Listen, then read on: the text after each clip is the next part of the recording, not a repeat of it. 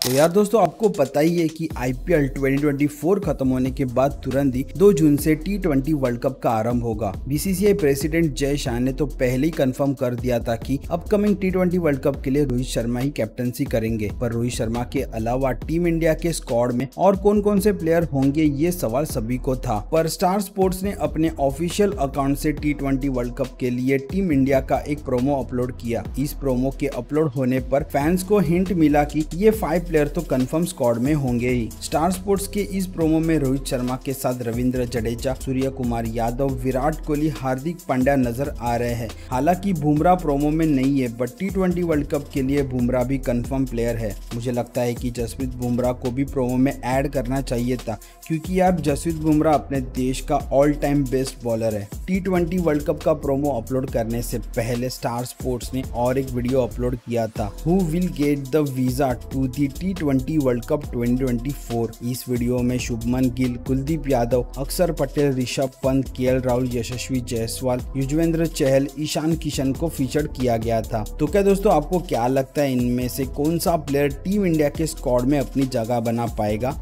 और इसके अलावा और कौन कौन से प्लेयर भी हो सकते हैं, मुझे कमेंट्स करके बताना। तो दोस्तों, ऐसे ही आईपीएल से जुड़े अपडेट के लिए हमारा चैनल सब्सक्राइब करें। मिलते हैं अगली वीडियो में।